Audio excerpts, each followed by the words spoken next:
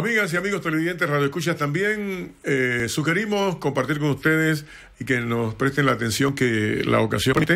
para el argumento que nos va a presentar el subdirector nacional de empleos del Ministerio de Trabajo, don Andrés Salazar, para hablarnos de esa iniciativa que estará favoreciendo y empoderando alrededor de 18 mil jóvenes graduandos de por lo menos 60 colegios, recorridos que se han hecho para llevarles el mensaje que a continuación nos destaca el licenciado Salazar. Bienvenido.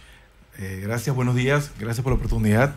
Bueno, en el día de ayer iniciamos la temporada del programa de Orientación Vocacional y Empleo para el año 2018 en la provincia de Chiriquí. Eh, cabe señalar que este programa surge como iniciativa de la Alta Comisión o una de las recomendaciones de la Alta Comisión de Empleo y busca orientar a los jóvenes referente a las tendencias del mercado laboral para que ellos tengan de primera mano toda la información de, dónde en este momento la economía del país pues eh, tiene su rumbo para que asimismo ellos puedan tomar la mejor decisión eh, para sus carreras y el futuro del país. Esa tendencia del mercado laboral hacia dónde apunta, cómo se logra este, escudriñar para saber que de pronto estas carreras en el ámbito de lo vocacional son las oportunas para estos chicos.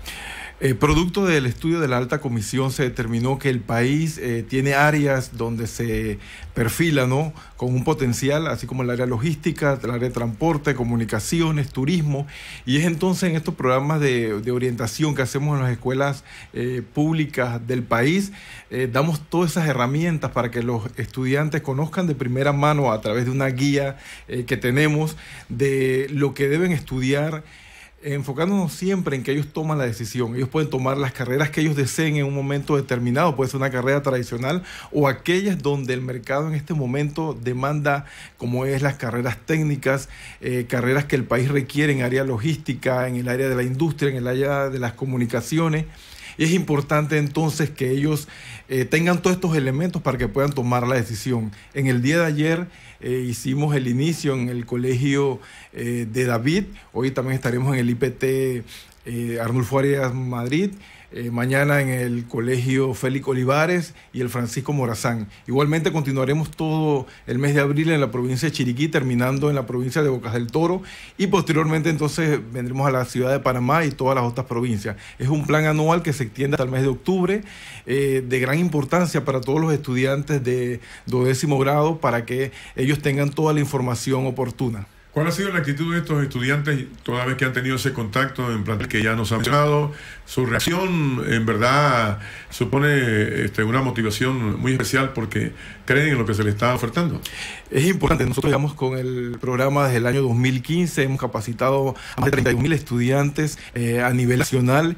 Importante porque cada provincia tiene, digamos que su característica y hacemos que el enfoque sea dirigido a la provincia para que ese potencial eh, o ese talento humano de jóvenes vea el potencial que tiene su provincia y de esa forma pues ellos puedan de una manera estudiar una carrera que inclusive pueda ser de provecho para la propia región. Claro, y sobre todo ponerle en perspectiva la realidad del país que tenemos que afortunadamente vamos por el rumbo al parecer de lo correcto, por algo nos llaman COP del aspecto de lo logístico, del ámbito de lo comercial, de grandes convenciones y en donde también este, muchas carreras en el aspecto de lo vocacional se van incrementando.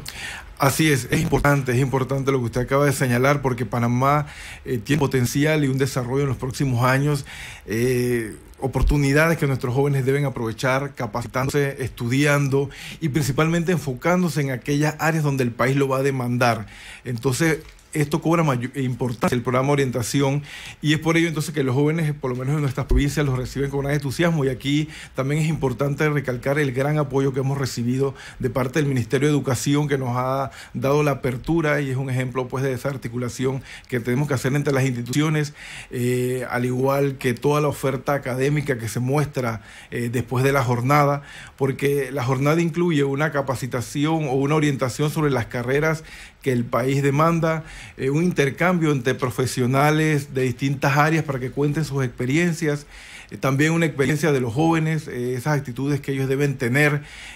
para lograr un empleo efectivo el día de mañana. Claro, una actitud de empoderamiento para enfrentar los retos del presente y futuro. Qué bueno el argumento que ha expresado el subdirector nacional de empleo del Ministerio de Trabajo, licenciado Andrés Salazar, cómo llevarle el mensaje positivo a los jóvenes para que haya ese despertar de conquistar el país y el mundo con una labor profesional acorde con la realidad de, nación que tenemos y lo que está ofertado. Gracias por estar con nosotros. Luego de esto les dejamos con el noticiero de El Midión.